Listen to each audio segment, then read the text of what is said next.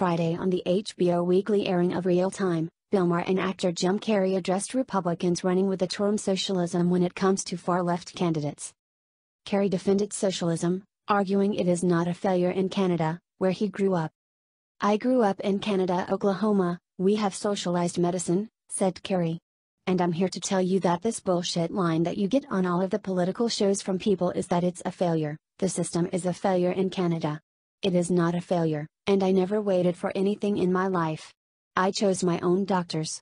My mother never paid for a prescription, it was fantastic. He continued, I just got back from Vancouver, and I keep hearing, Canadians are so nice. Canadians are so nice. They can be nice because they have health care, because they have a government that cares about them that doesn't say, sink or effing swim, pal, or you live in a box.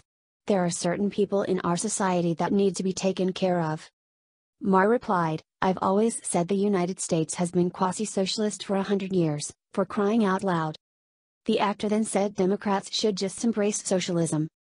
We have to say yes to socialism, to the word and everything, he proclaimed to Maher. We have to stop apologizing.